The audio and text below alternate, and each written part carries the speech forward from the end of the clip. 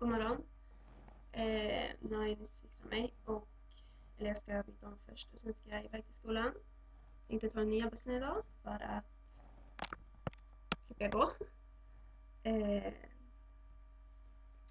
men jag ska inte göra samma misstag som igår för att då jag trodde den skulle stänga ner det på Skolhusallén men det gjorde den inte utan den fortsatte typ bort mot McDonalds där borta vid järnvägsstationen. Eh, så jag fick gå från Trädgårdsgatan till skolan. Mm, så att idag hoppar jag av i Statoil. Eh, vad mer? Ingenting i tidningen än om Lucian. Och jag tyckte han den där Mattias Grossbjörn hette sa att det skulle vara typ tisdag eller onsdag men tydligen inte så att imorgon tror jag. Eh, så det är bara in och rösta. Sen, det då? Träning ikväll.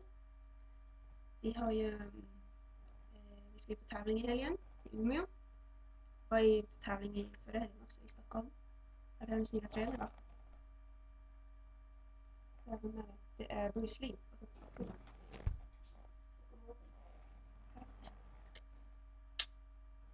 Eh, ja, och sen så det är asmycket tävlingar nu. Eh, för att det var det förra helgen.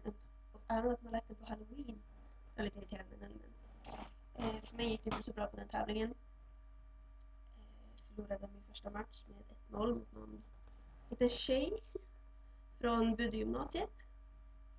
Så att, men min tränare tycker att jag har gjort framsteg och det är ju bra. Eh, så nu på Umeå så ska jag visa. Nu ska, nu ska det gå bra. Eh, mer då. Ja, och så är det ju det är så här, en helg emellan. Och sen kommer det en tävling till efter det i Stockholm. Det så här Karate Kid slash Juniorpokalen.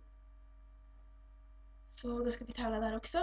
Så det blir ju fara upp och ner, upp och ner. Eh, men, men det var skoj. Ja. Så att... Ja. Nu ska jag gå byta om. Sen ta bussen.